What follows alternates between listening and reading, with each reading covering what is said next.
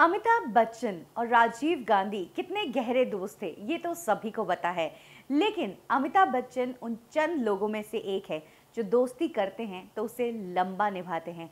Specially Rajiv Gandhi के case में अमिताभ ने राजीव गांधी के साथ एंड तक दोस्ती निभाई और प्रूव कर दिया कि उनके जाने के बाद भी अमिताभ उनकी फैमिली के लिए खड़े हैं। तो आज कब की और कैसे में, मैं आपको यही बताने वाली हूँ। कि कब अमिताभ और राजीव गांधी की दोस्ती थी, क्यों पॉलिटिक्स का अच्छा एक्सपीरियंस नहीं होने के बावजूद इन दोनों की दोस्ती बनी रही और कैसे अमिताभ ने प्रूव किया कि वो राजीव गांधी और उनकी फैमिली के लिए हमेशा खड़े हैं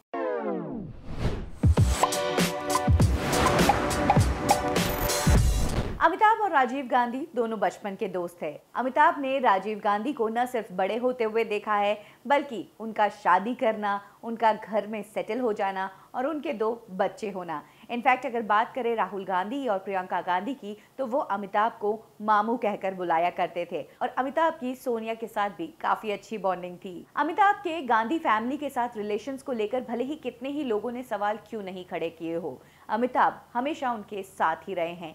भले ही वो संजय गांधी के लिए प्रचार करना हो या फिर जिस वक्त राजीव गांधी अपने पिता संजय गांधी की गद्दी संभाल रहे थे, तब एशियन गेम्स के दौरान, जहाँ पर एक तरफ़ दिल्ली के स्टेडियम में चीफ गेस्ट थे राजीव गांधी, वहीं अनाउंसर और एंकरिंग कर रहे थे अमिताभ बच्चन। तो इस तरह से हमेशा अमिताभ की गांधी फैमिली के साथ बॉन्डिंग नज़र आती रही है। इनफैक्ट अमिताभ ने अपने दोस्त के कहने पर ही पॉलिटिक्स भी ज्वाइन की। अपने करियर के टॉप पर थे अमिताभ, जब उन्होंने कुछ टाइम के लिए बॉलीवुड से ब्रेक लिया और पॉलिटिक्स ज्वाइन कर ली। हालाँकि बोफोर स्कैम के कारण उन्होंने पॉलिटिक्स को छोड़ भी दिया, लेकिन इसके बावजूद उनकी दोस्ती में दरार नहीं आई। ये बात उस इंसिडेंट से प्रूव होती है जब राजीव गांधी को सुसाइड बॉम्बर ने उड़ा दिया था। जी हाँ राजीव गांधी चेन्नई में अपनी पार्टी के प्रचार के लिए गए थे और वहीं पर 21 मई 1991 को राजीव गांधी को एक सुसाइड बॉम्बर ने खत्म कर दिया था। इस इंसिडेंट के साथ, उस सुसाइड बॉम्बर के साथ साथ राजीव गांधी की भी डेथ हो गई। वहीं पंद्रह दूसरे लोग भी